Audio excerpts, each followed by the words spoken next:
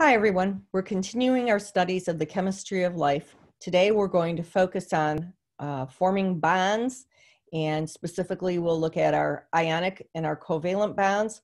We'll also look at a special type of bond called the hydrogen bond, and then the properties of water. Okay, so matter can be combined in two different ways, either physically intermixed as a mixture of which there are three types, suspensions, colloids, and solutions, or uh, matter can be chemically combined, in which case we're going to be forming and making new bonds. When we physically intermix um, and just form a mixture, we're not making new bonds. Our first type of mixture is a suspension, and that's a liquid mixed with a solid. You'll have a solution with particles suspended in it, and those particles will settle out as a sediment. And this is usually an opaque or cloudy sort of mixture. An example of this would be whole blood in a test tube, and the blood cells settle out from the uh, mixture. Um, and we use this uh, as a measure of a blood test called the erythrocyte sedimentation rate, or the ESR. And this test measures the rate of fall or sedimentation of red blood cells in a sample of blood that's been placed in a small, uh, thin vertical test tube. And the faster the rate is an indicative is indicative of inflammation in the body. Colloids are a type of suspension in which your solution of molecules contains um, uh, microscopic particles uh, that uh, do not uh, fall out of the solution. They, they remain solvated indefinitely.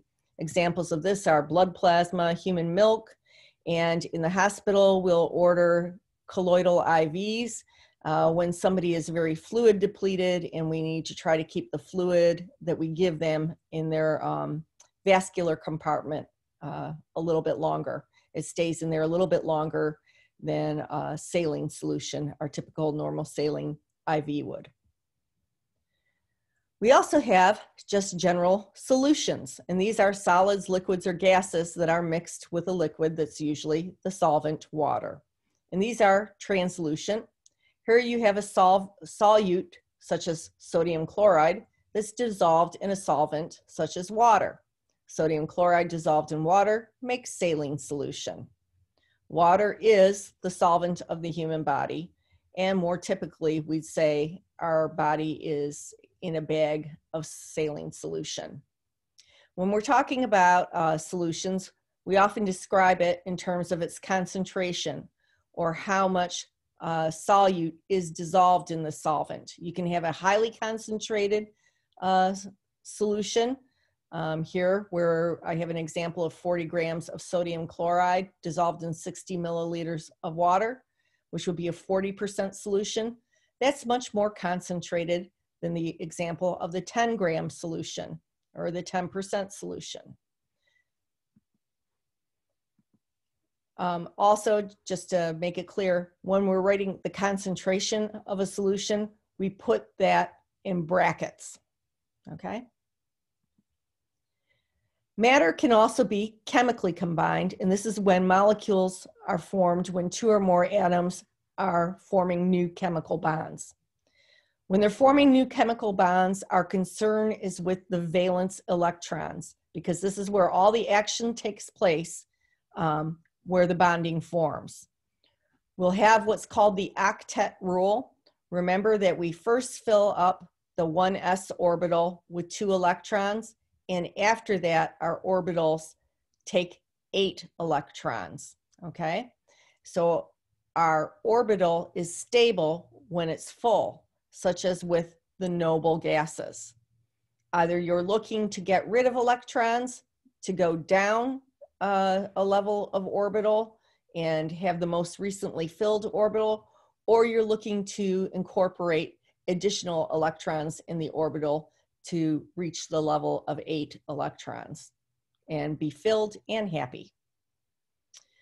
When an atom's outer shell has a vacancy, it might have room for another electron, maybe two electrons, maybe three electrons. In the case of carbon, it has room for four electrons. So when you're missing electrons, it's chemically active. We also can have free radicals, and this is when atoms or molecules exist with unpaired electrons, and these are very unstable uh, molecules. They can even be dangerous to life. You'll uh, see a lot of advertisement uh, for your vitamins that um, are antioxidants, and they're looking to react with these free free radicals to stop the damage. Um, you'll also see a lot of like facial creams uh, will be advertised as having antioxidant properties uh, so that uh, uh it prevents free radicals from harming your skin and doing damage to your complexion. All right, here we have the periodic table of the elements just to remind us of what all we're looking at. Remember, we have our uh, periods, which are the rows going across, our first period being uh, hydrogen and helium.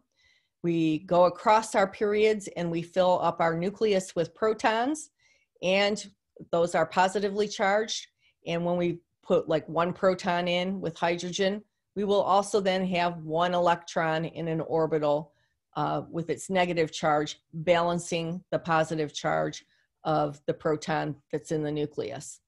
In helium, we add in our second proton in the nucleus, and then we add in an additional electron in our orbital, and that would be the 1s orbital, and then we're full, okay? And helium then has a completely filled valence, and it is thus non-reactive.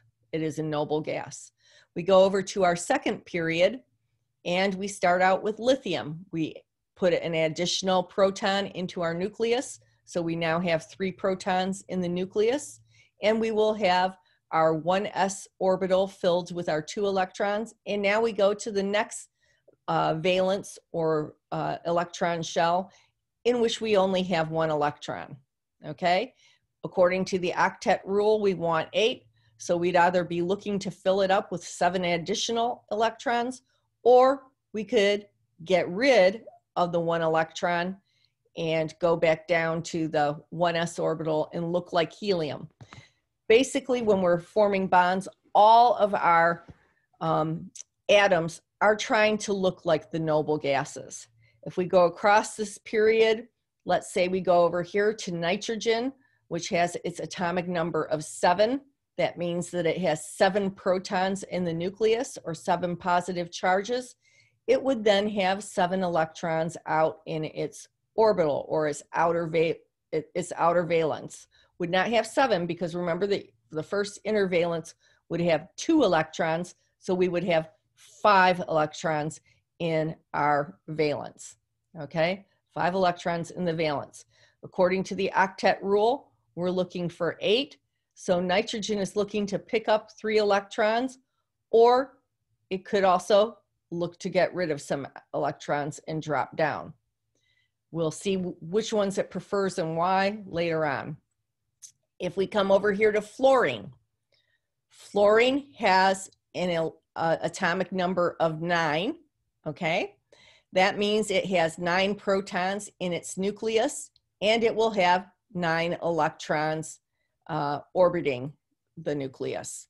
Two will be in that inner shell, and then in the next shell, we will have 9 minus 2 or 7 electrons. Our octet rule says that we want to have 8 electrons, uh, at which point we want to look like neon. So fluorine is going to be looking to pick up one extra electron. Now you can see at each column going across, you have 1A, 2A, 3A, 4A, 5A, 6A, 7A, and 8A. That will tell you how many electrons are in that outer valence. So when we're looking at 8A, these are all the noble gases. Their valence is completely filled and they are non-reactive.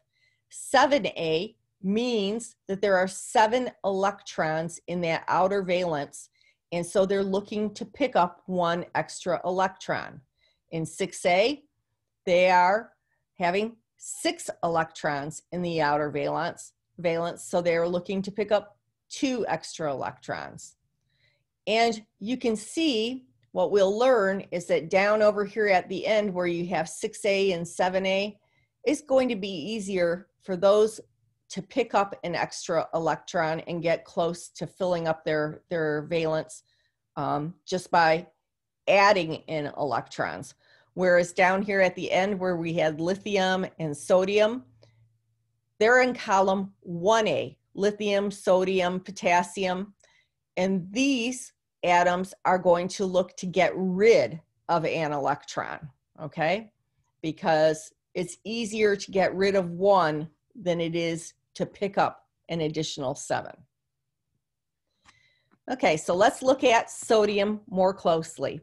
Sodium we can see is right below lithium. It's in the third period or the third row, and it's in column 1A. So we know that it has that one extra electron in its outer valence. Okay, so let's look at sodium here. Sodium, its atomic number is 11. That means it has 11 protons in the nucleus. So down here in this purple nucleus, there's 11 positively charged protons. Balancing that, we will have 11 elect electrons encircling it in its orbital. When we fill up the orbitals, we start filling up first with one and two electrons of opposite spin in our inner 1s orbital. Then when we go up to the next orbital level, so we're already at, we filled up two in our inner, inner orbital, we go to the next electron orbital or electron shell. Okay, so we start out with our third electron. So we fill in three, we fill in four, we fill in five, we fill in six, we fill in seven, we fill in eight, we fill in nine, and we fill in 10. So now we filled in eight in our second shell, two in our first shell, we filled in 10, and we have one more. And that one more has to go out to the next higher energy level or valence, the outer orbital, right? The outer electron shell, and we place just one there. And it could take up to seven more, all right? But as I told you, it's going to be easier for it to lose this one electron than it will be for it to gain seven. So this electron loss is what you see over here in this column. You see all these vacant orbitals that are not, or, or sorry, vacant electron uh, uh, spots in this outer orbital, right? Okay. And to look like a noble gas, we're just going to get rid of this whole valence or this whole orbital out here by losing this electron. So we're going to lose this electron and sodium will go down to just having these two orbitals and it will look like the noble gas that dropped down to just 10 electrons, which is neon on the periodic, periodic chart if we go back here. Okay, so sodium is now looking a lot like neon here, and that's what all these atoms are trying to do. However, when we lose that one electron, we now have still the 11 positive charges of the protons in our nucleus, and we only have 10 electrons with their negative charges balancing that. So our sodium, in losing that electron, is now a charged molecule, which we learned last time, makes it an ion. And it makes it specifically a cation with its positive charge, plus one. Okay? Now, if I asked you in your mind to figure out the same thing with potassium, okay? If we figured it out with potassium with its 19 protons, could you try and do that? And let's see if you had this right.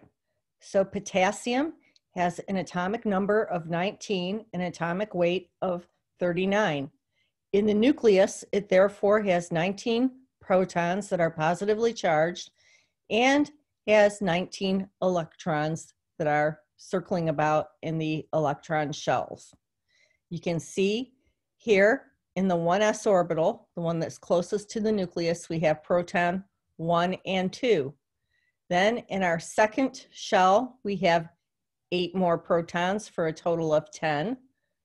Then we have in our third shell, which is filled all the way with another octet, eight more protons for a total of 18 electrons.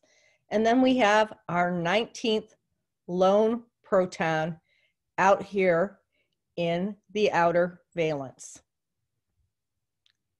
Of course, just as with sodium, we're going to find that potassium is inclined to get rid of that outer proton in that outer valence. Just like this, okay? We'll see how it gets stripped of that and usually forms an ionic bond, at which point we're left with 18 electrons for a total positive charge cation. Potassium becomes K plus. Remember the symbol for potassium is K. So it's similar to the same situation that we had with sodium, okay? They're in the same column, the 1A column. You'll find sodium, potassium, lithium. They all tend to lose one electron and form a positively charged cation, positive, positively charged plus one because they lose one electron. Okay, when they lose this electron, they become ionized. They're formally called ions. They're atoms with an unequal number of protons and electrons. Okay, so as I said, in the case of potassium and sodium, they will carry that net charge of plus one and are called cations. Chloride in the seventh group will gain that electron.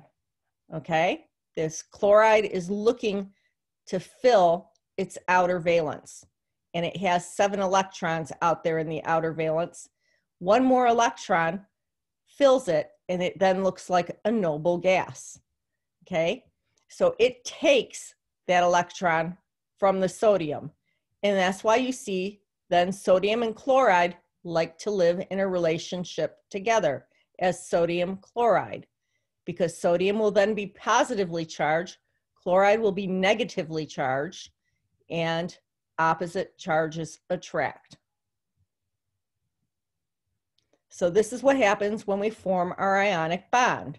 We've generated sodium lost its one electron out here in this outer valence, and it now resides spinning around, dancing around out there with chlorine and the chlorine atom, okay? Chlorine now becomes an anion with a negative one charge and is called chloride, okay? It's a chloride anion. Sodium, chloride. It's an ionic bond because they are held together by the mutual attraction of their opposite charges. And here we go again, just another view so that we really get this in our head.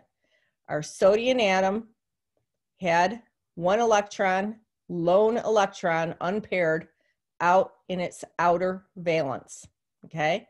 Remember all of our uh, electron shells like to have an octet of four pairs of electrons. Those pairs of electrons are of opposite spin. I'm telling you that but really for our purposes, you don't need to pay attention to the properties of the uh, electron spin in that.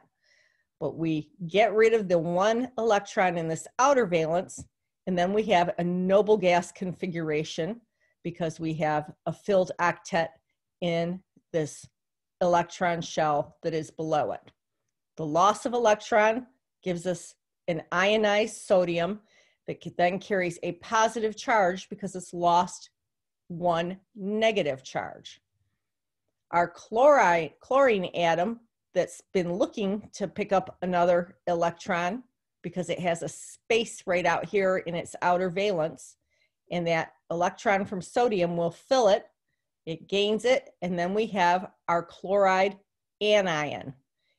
It gains a negative charge, so chloride now has a minus one charge. And here's our valency table again. And you'll see that group one, column one, these all look and behave just like sodium. and they tend to lose one electron in their relationship in their ionic relationships. And they tend to therefore have relationships with this group seven set of elements or atoms, fluorine, chlorine, bromine, bromine, iodine, okay? And these all tend to accept one electron because they have seven electrons in their outer valence and they become completely filled with the addition of one. In the column before them, oxygen, sulfur, um, these all have, um, are looking for two electrons. They have six electrons in their outer valence, okay? And so forth. You can see that uh, is pretty obvious with, with the whole periodic table. So I, in ionic bonds, the atoms are held together by the mutual attraction of the opposite charges that form when these atoms either lose an electron or gain an electron and become cations and anions. And the cations are attracted to the anions. And so this can be, form a quite strong bond. And you'll see as sodium chloride, it just doesn't dissipate or crumble in, you know, uh, become non-chemically bonded. Salt is very stable sitting on your table for years and years and years. And it forms this lattice uh, relationship of one sodium and chloride to each other. You can see the relationship there. But we're not being concerned with the structure of, of salts, thankfully. All right, so now let's look again at our ionic, our ionic bond formation, looking at the period two valences. And we'll see how like when lithium gains its proton and uh, moving on from helium, gains one more proton, has three protons, it has three electrons. The next electron goes up into the next orbital. Beryllium, same thing. It gains a proton, uh, changing it from lithium to beryllium. And then we have four electrons encircling uh, in the electron clouds around the nucleus. Boron then has five protons and of course, five electrons. Okay, so it's got this odd number of three out here in its outer valence. Carbon now has four protons in its nucleus. And so therefore, I'm sorry, it has six protons in its nucleus and it now has six electrons encircling it. So it has um, four in its outer valence and so forth down the line all the way to neon, which then has 10 protons in its nucleus, two in the 1s orbital right here. And then its next orbital is a complete filled octet for a total of 10 electrons. We also can write our valence in a notation which is called the Lewis dot structure. And you'll see that this becomes very, very useful for all of our molecules. So we have lithium with its one dot indicating that it looks like this. It has one in its outer orbital. For beryllium, you could write B, E, and you could write two dots for beryllium, okay? Carbon, We'll write its outer valence. We leave the filled inner valence. We ignore that when we write our Lewis dot structures. And we write carbon with its four electrons unpaired surrounding it. Okay.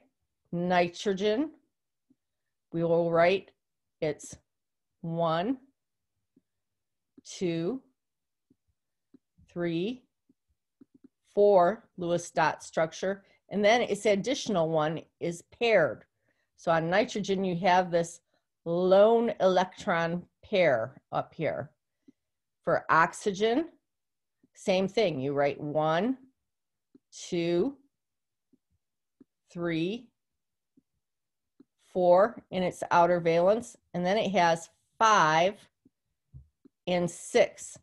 And you have to write it like that so that you get the key thing of the two lone electron pairs out here. You don't end up filling it like this. You don't say one, two, three, four, five, six. Okay, because then they're all paired off. And you'll see this is significant for the way that it forms bonds. Fluorine, I could write one, two, three, four, five, six, and seven. And you see that it's looking for creating its last lone electron pair to fill its octet. Okay? Now, let's erase all this so that we can move on to our next slide and not have that show up on our next slide.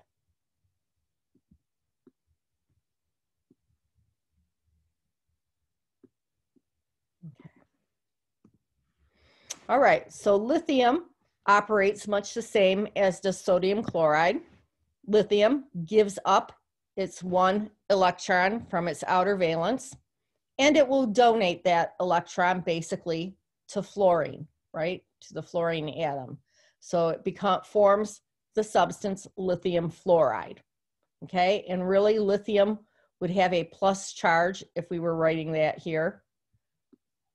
Okay, and fluorine would have a minus charge, but since the overall um, molecule that's formed is uncharged, we leave that off. But this really becomes, like I said, lithium plus one and fluorine minus one. Okay? And we could have written the Lewis dot structures for lithium and fluorine. And you'll see here why these dot structures become very important. So lithium has its lone electron pair, one drawn in. Fluorine has one, two, it's in group seven, so it has seven out here, three, four, five, six, and seven. And then you see how these two become the ones that are exchanged, where lithium donates this electron over here to fluorine. And that's where the bond is formed. So the Lewis dot structure basically shows you how your bonds are going to form.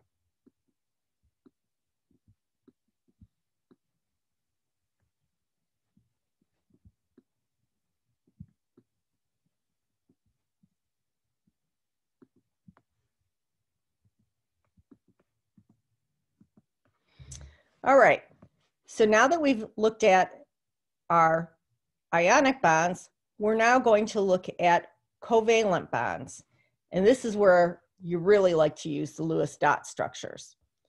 Our covalent bonds will form when two atoms share a pair of electrons rather than donating or stealing an electron, okay? These can be stronger than ionic bonds. They can be weaker than ionic bonds. Um, they're not always stronger. Um, but some of the textbooks kind of allude to this fact because when we're talking about putting these things in a solution, an aqueous solution, what happens with the ionic uh, bonds is that the ions dissociate or the bond kind of falls apart in water. And we'll show you why that happens in a moment. Um, so, but don't get confused to think that those bonds for like table salt sodium chloride is itself weak. It is not. It's a very strong bond. It would take a lot of energy to break that bond. However, in an aqueous solution, um, you'll see that uh, charged molecules will dissociate from each other. Okay, so in our covalent bonds, we have here just a basic hydrogen atom and another hydrogen atom with its one proton in its nucleus for each atom, and it's one electron in its electron shell. okay, in the outer valence of hydrogen, which happens to be the 1s orbital. And what happens is since each of these um, hydrogen atoms would like to have a second atom to fill its orbital, it doesn't really want to give up one and form one that's an H minus and one that's an H plus. There's um, no reason why one hydrogen atom, since they are exactly the same, would pull away an electron or attract that electron more than the other hydrogen atom. So what they end up doing is becoming involved in a shared relationship. And so, oops, if we were drawing with our Lewis dot structure, we'd annotate this of our hydrogen atom with an H with its lone electron. We'd have another hydrogen atom and it's H with its lone electron. And we draw it as shared like this. And that's the one single bond. Okay? And this is a model of hydrogen gas, H2, okay, forming its covalent relationship, equal sharing of the electrons. Okay, so what's happening here is these um, hydrogen, the electrons are dancing around each of the hydrogen atoms, but it has no preference really for dancing around one atom more than another. Okay, and it shares equal time around both of the nuclei, the electrons do. And I have lost my mouse cursor here. Where is it?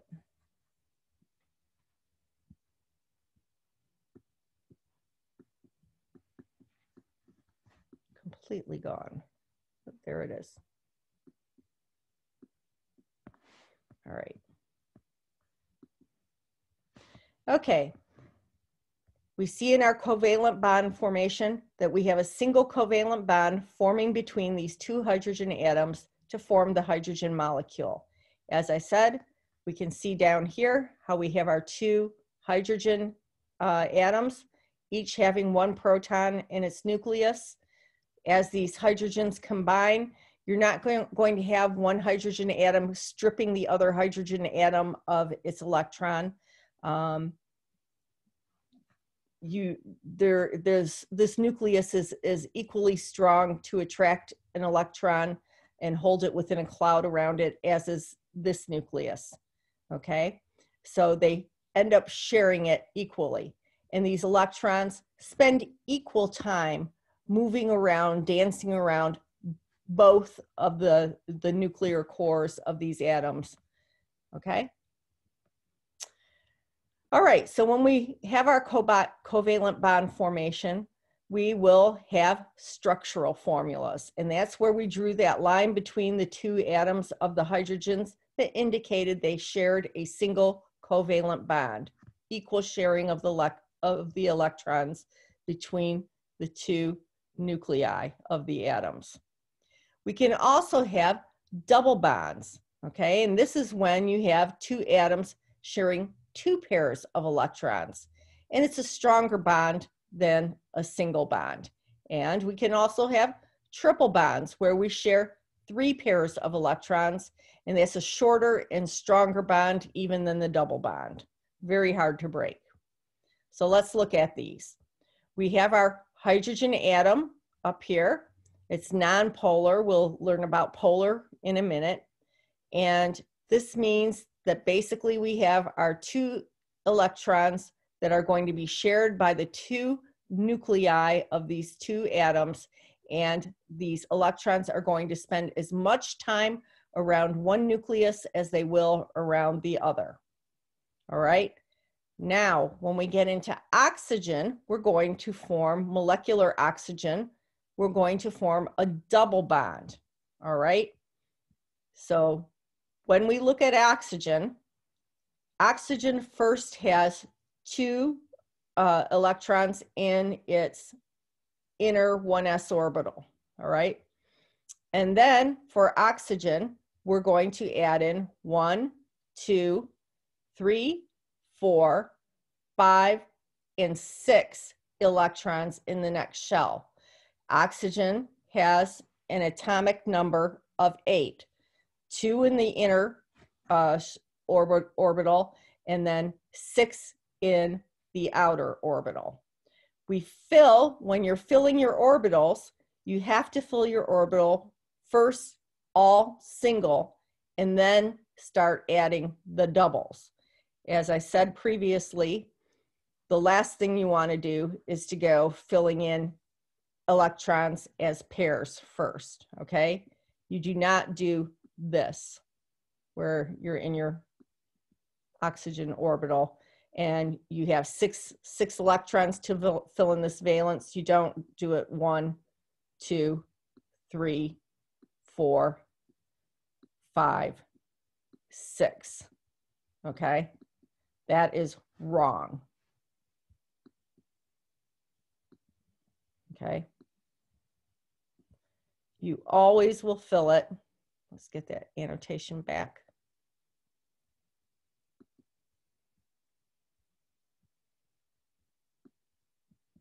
Hmm, doesn't want to do that.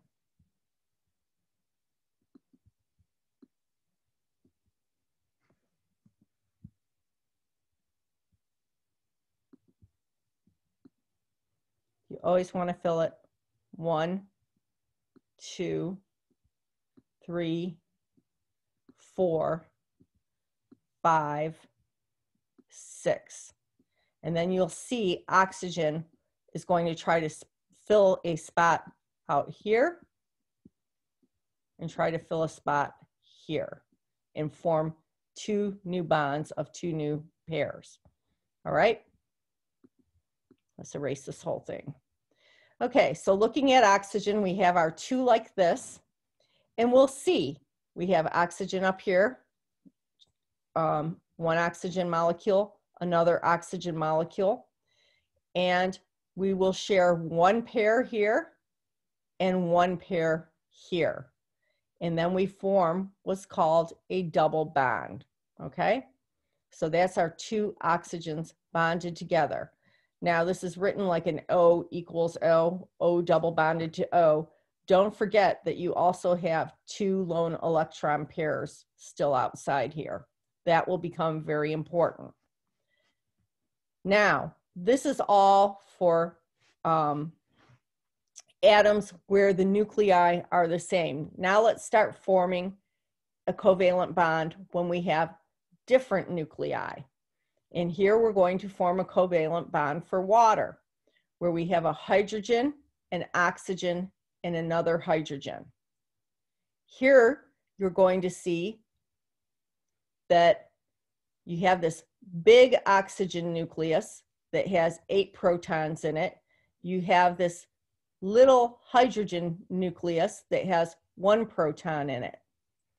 So this oxygen atom is very, uh, oxygen nucleus with the eight protons is very strongly going to attract that um, electron from the hydrogen.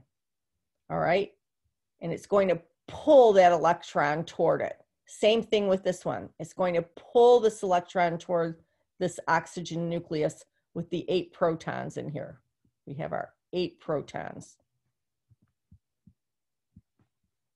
If I can get back there. We have eight protons, right? Eight protons that are positive, positive charge, okay? And so it's going to pull that. We're going to form a bond here, and we're going to form a bond here whoops, makes it look like a double or triple bond. It's just a single bond. Okay, and then we have our molecule looking like this right now. But we'll see why this becomes significant that we have that big electronegative nucleus of this oxygen uh, atom in one second.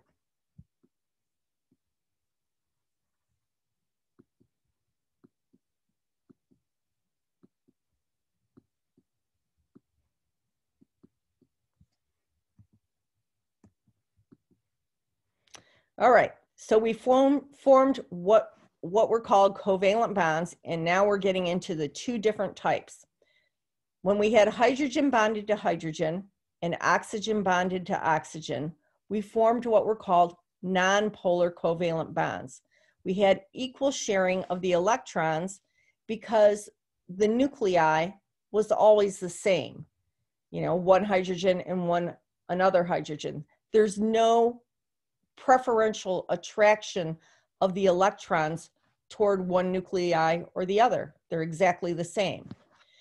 We will form some polar covalent bonds where we have unequal sharing of electrons because one of the nuclei will more strongly attract and pull on those electrons. And when we form these polar covalent bonds, this will be like in water, where the electrons are going to be more attracted and pulled away by that nucleus of the oxygen, preferentially over the hydrogen. Okay, and we call that oxygen then a very electronegative atom. And what we say is it has almost a, in this covalent bond, it has kind of a partial ionic character to it, or a partial, a little bit of a charge. It's not a full charge like in an ionic bond, but it's a little baby charge. And we give it a partial charge. We give it a delta. We call it a delta, uh, Greek letter charge, for polar molecules like water. So let's look at this. And we really need to spend some time understanding it. Okay, so we have our ionic bond, which is formed by our completely uh, unique nuclei where one, one nucleus so strongly attracts the electrons that it basically strips the electron away from the other uh, atom. Okay, and this would be like in sodium chloride. Okay, chloride is a much bigger uh, nucleus than is sodium and it's going to very strongly att attract that electron away from the sodium and actually take and steal that electron away. Okay, so sodium ends up with a positive charge and chloride ends up with a negative charge, and the two atoms then remain associated with each other because of the opposite charges uh, being the attractive force between those two atoms. Here we had um, a polar, non-polar covalent bond at the other end of the spectrum because that is our, say our two hydrogen atoms. Same nucleus. It's not going to attract an electron more than another nucleus that looks just like it. So this is a non-polar, completely covalent, there's no charge involved situation for our hydrogen. Then we have molecules that are somewhere in the middle. And this would be like water, okay? Where our oxygen molecule is going to much more strongly attract uh, the electrons than the hydrogen, but not so strong that it completely strips and takes away the um, uh, electrons off of the hydrogen. The electron is still going to dance around the hydrogen, but it's going to dance less frequently around the hydrogen. It's going to spend more of its time in the cloud around the oxygen. So we call this a polar covalent bond, and our oxygen will carry a partially negative charge, and our hydrogen will carry a partially positive charge. All right? When I talk about electronegativity, I'm talking about it's a measure of the atom's tendency to pull electrons away. And here is a chart that will tell you it's basically a vector. You have increasing negativity as you go across a row from 1A, uh, these small little cations over here, um, these will, uh, you know, obviously form in an ionic relationship. they don't hang on to that outer valence electron easily, okay? They're not strongly attracted to the core of, of this nucleus of these atoms. Whereas these atoms down here near the noble gases and the halogens, the group 7A um, atoms, these atoms, their nuclei very strongly will attract the atoms, uh, the electrons. And so we call these more electronegative. Also, as you go up the column, you become more electronegative. So argon is more electronegative than, well, we won't use the noble gases. Chlor, chlorine is more electronegative than bromine, which is more electronegative than iodine. Fluorine is about the most electronegative molecule there is. So you see you have vectors going in this way and a vector going in this way. So you can somewhat think to yourself that basically as I'm going in this direction, that atom is going to be the atom which is stripping the electrons away and the electrons will dance around it a whole lot more.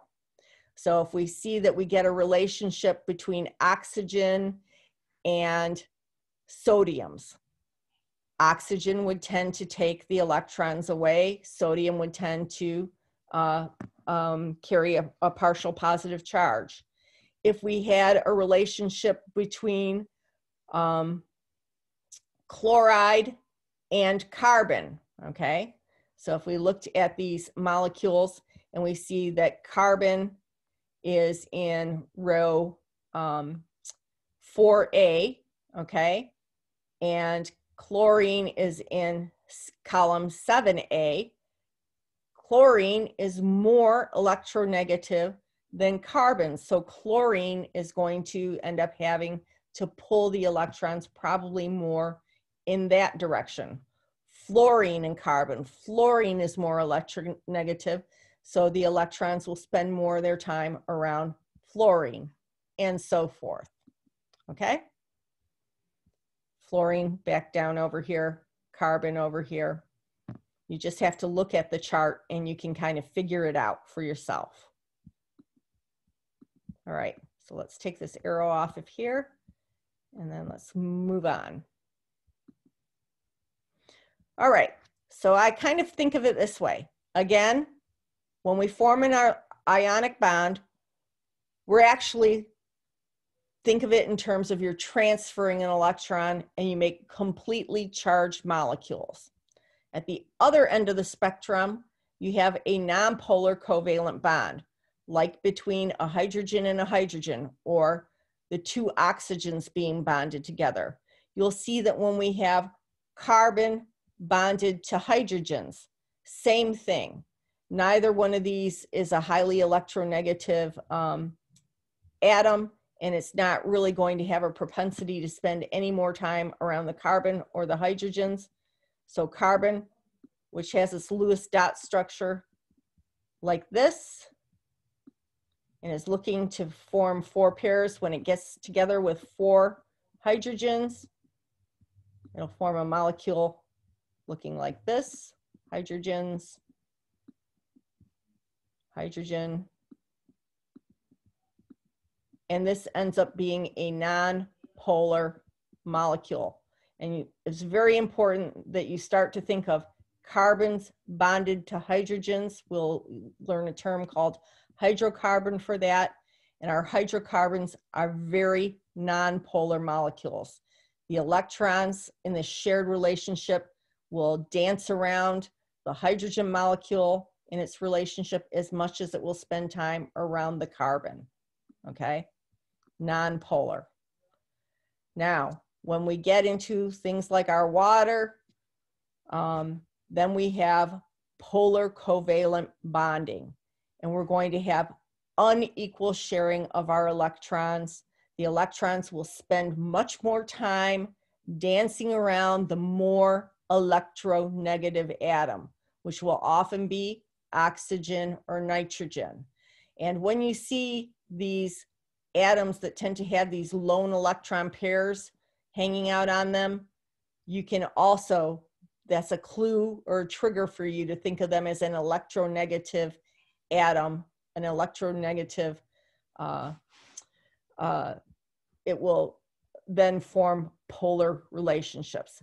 Oxygen and nitrogen will almost always form polar, you know, be a polar area in a molecule. Okay? All right.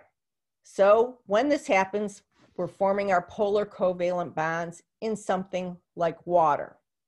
Okay, so our oxygen, remember, had its six electrons in its outer valence two that are formed in these lone electron pairs.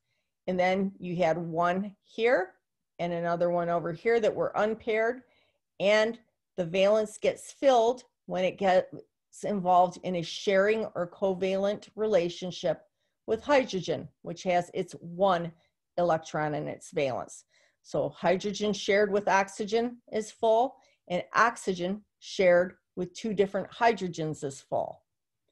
This elect this oxygen atom, as I said, is a highly electronegative atom, and it's going to pull the electrons to spend more time in this shared relationship. More of the time will be around this oxygen. And since the electrons will spend more of their time around this oxygen, that means that it's going to have a partially negative charge. So I write delta, partial negative, okay, at this end of the molecule, because this molecule has shape with these covalent bonds, you see.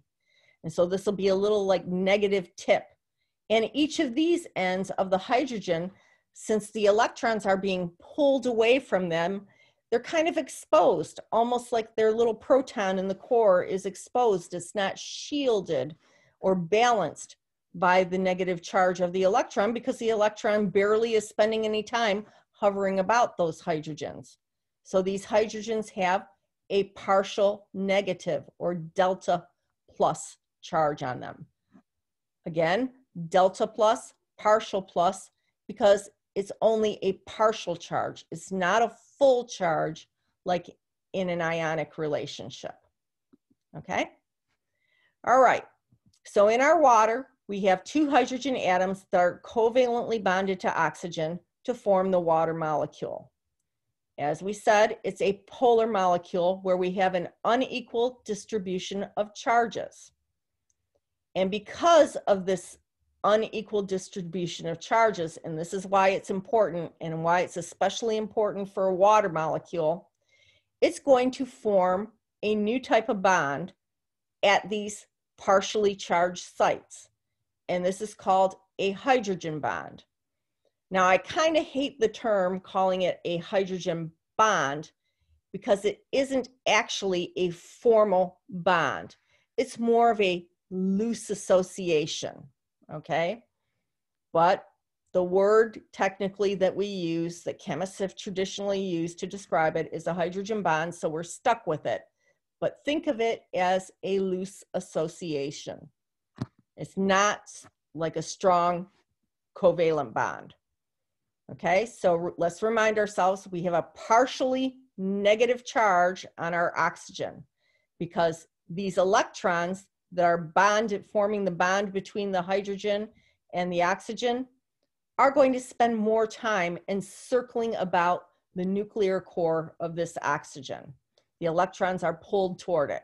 So our hydrogens, recall, are a little bit exposed because we have our single proton here without the shield or the covering or the dancing about of the negative charge around it. Why this becomes important then is you'll see when we have one water molecule next to a another water molecule next to another water molecule next to another so you have millions of these molecules when you hold up a whole cup of water is that they align with each other in a specific manner so our oxygen the bigger molecule here the red one with its partial negative charge will line up against the water molecule that's next to it with its pos partial positive charge of its hydrogens pointing toward that oxygen. Okay, and then the other hydrogen is going to point toward the negatively, partially negative oxygen on another water molecule, and so forth. And the oxygen on this original molecule here is going to be partially negative charged, and it will align against the partially positive charged hydrogen on another molecule. And we could go on and draw this and draw this over and over again. And you see this little dot, dot, dot means loose association, hydrogen bond, not a formal bond between all these molecules. Okay? All right, take a deep breath and let's think of something that trips everybody up.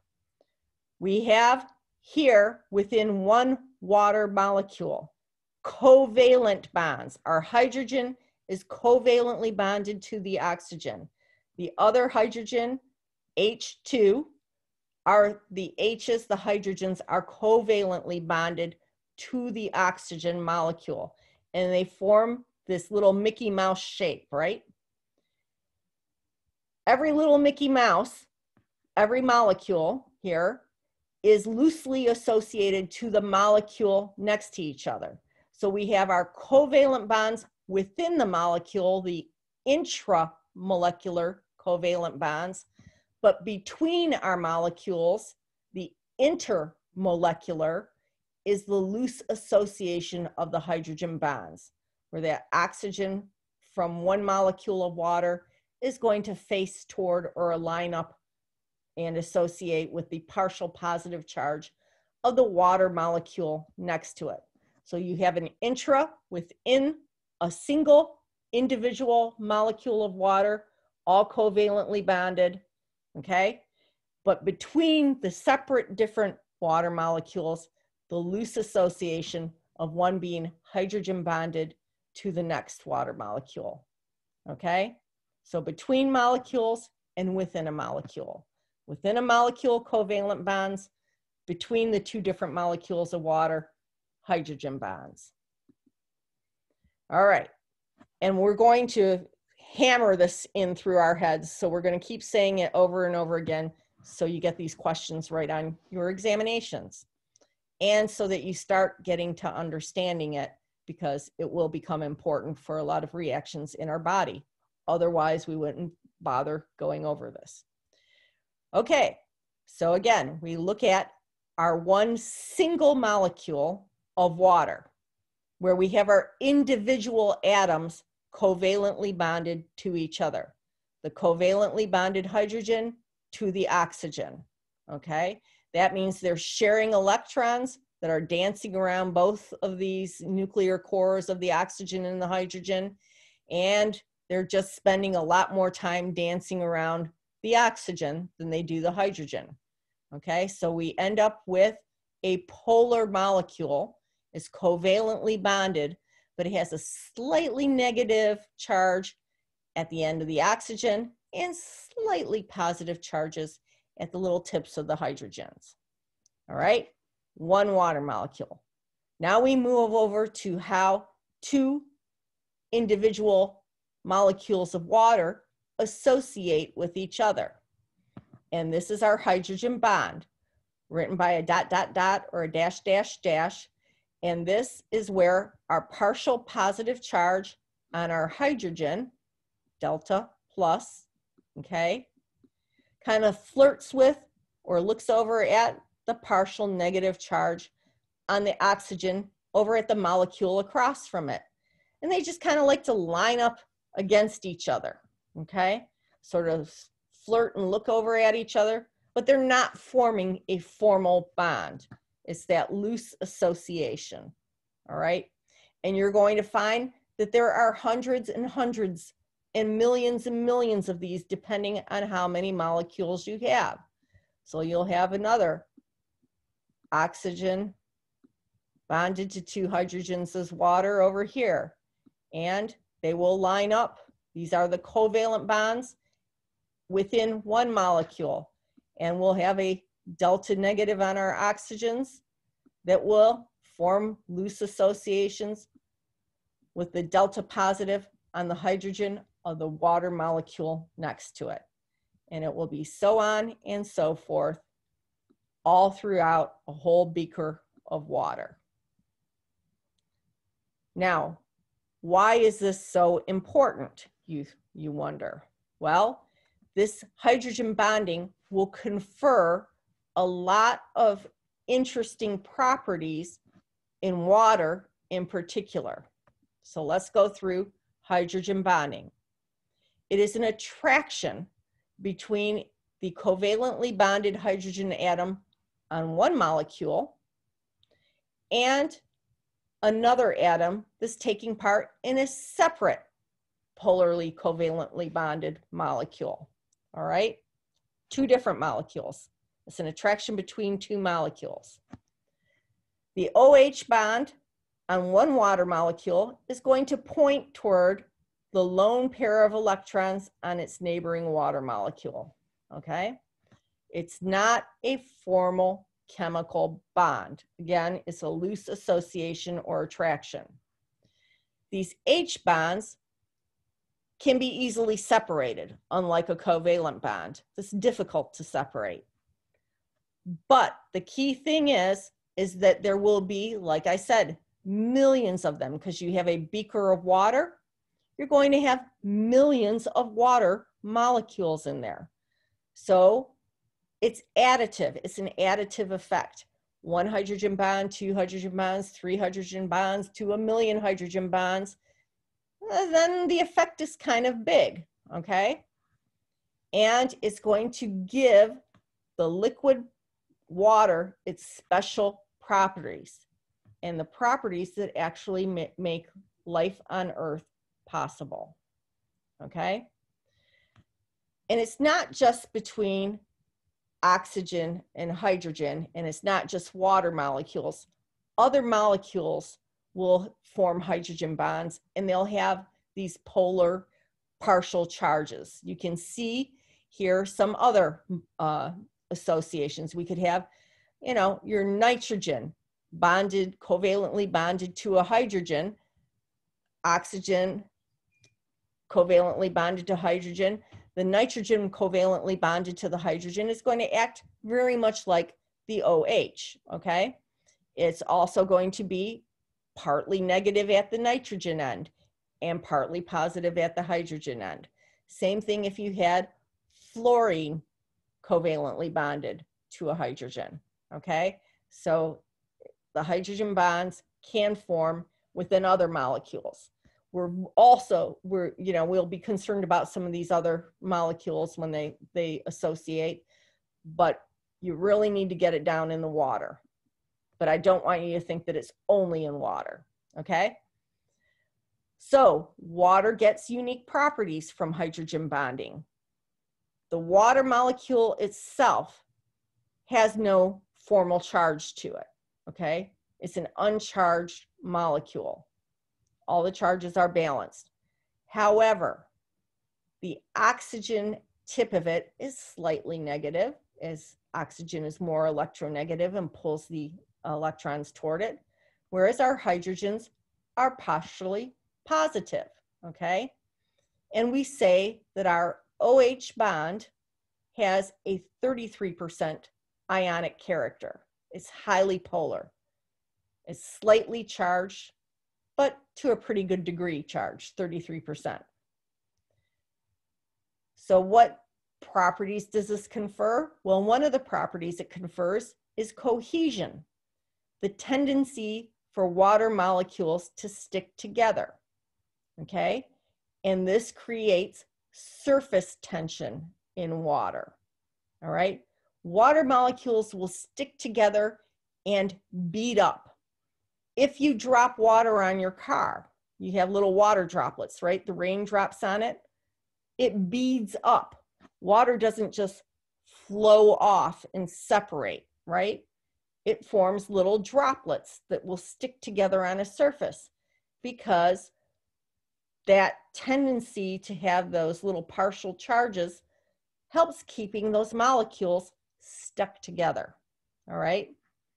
As well as it cohesion, it confers the property of adhesion, the tendency for the water molecules to be attracted to or stick to other substances or surfaces, like the underside of a leaf. If you go out after it rains and there's plants, not only is the water beating up on the leaves, but it will also like stick to the leaves so the water doesn't just go running straight off of all the leaves, okay?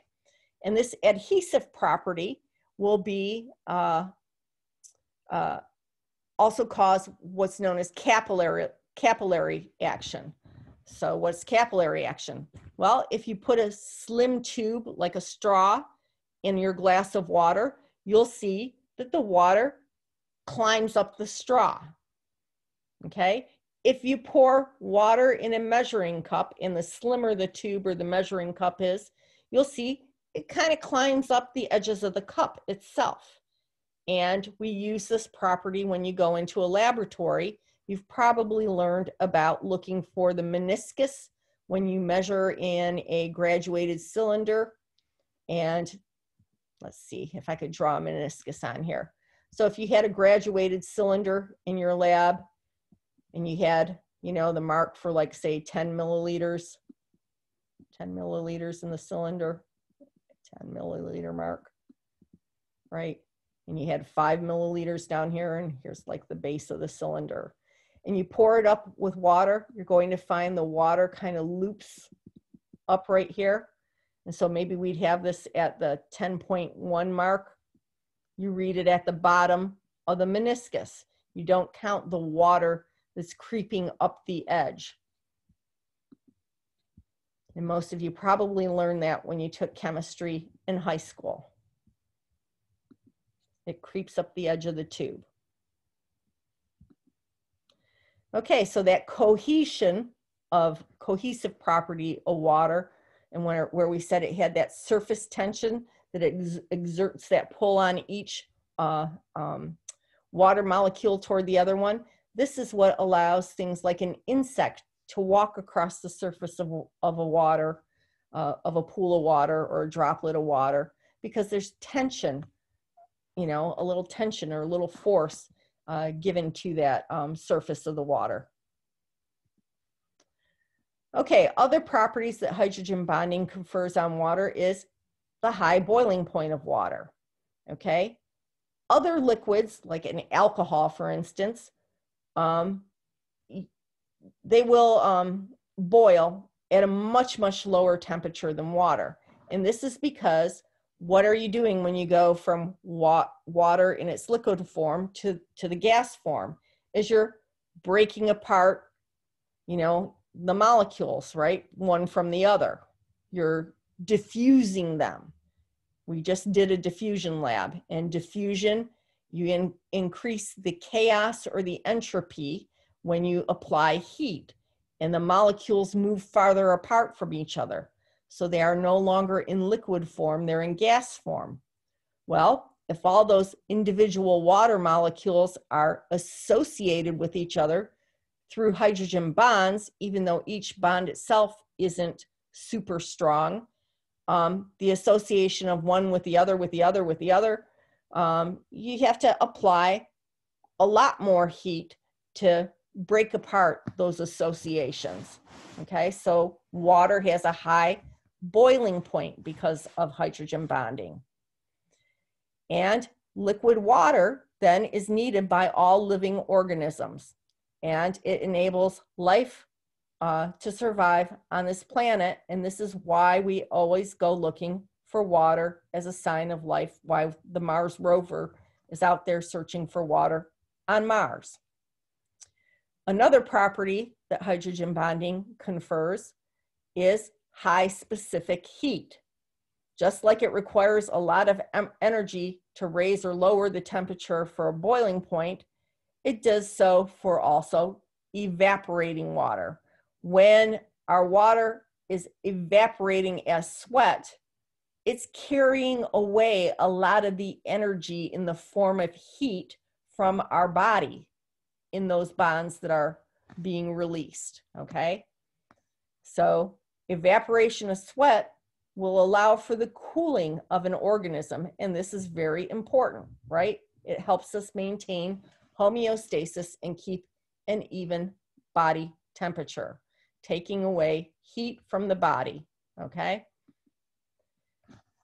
Hydrogen bonding in water also will affect the density in the solid form, the density of ice.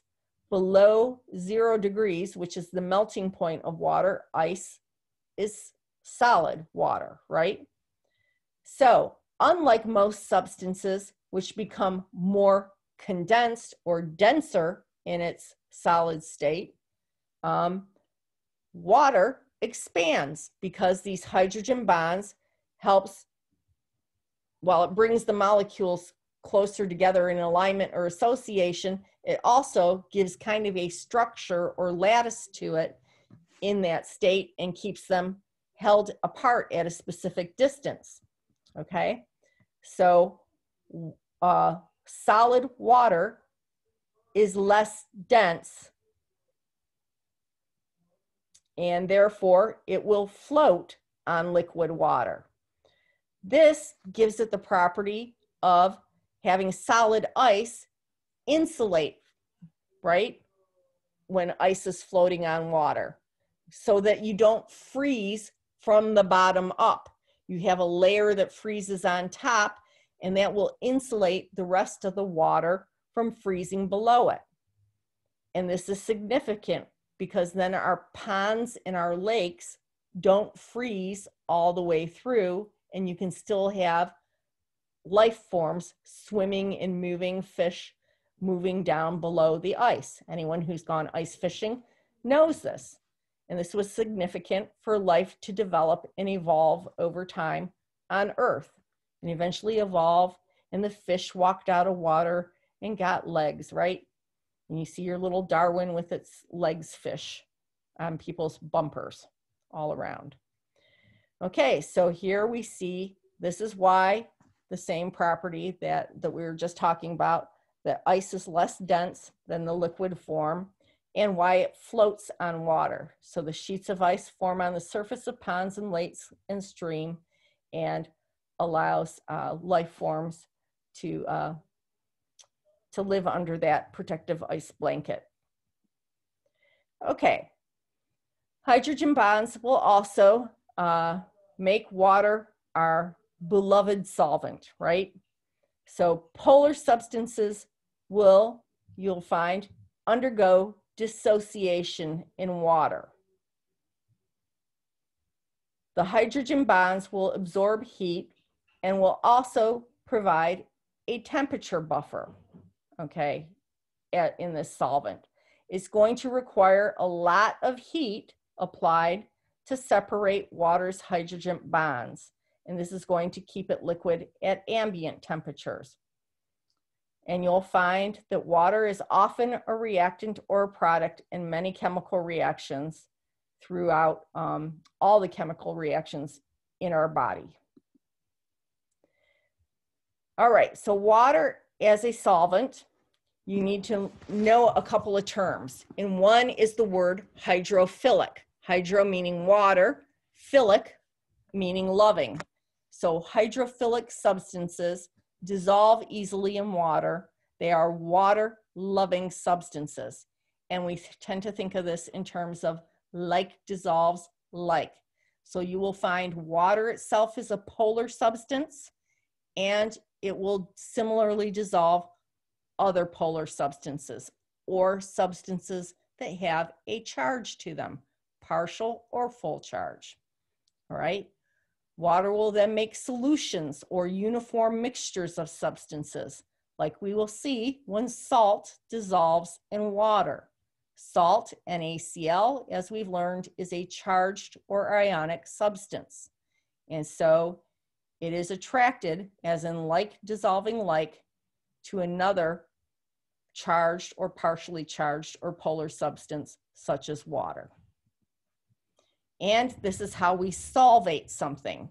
So we have our sodium chloride crystals of our Na plus and Cl minus, and when we put it in water, even though this is a very strong, strongly bonded, ionically bonded substance, what you see is in water, it dissociates or falls apart in all the water molecules, how they solvate the sodium is that all of those partially negative oxygens will align around that positively charged sodium.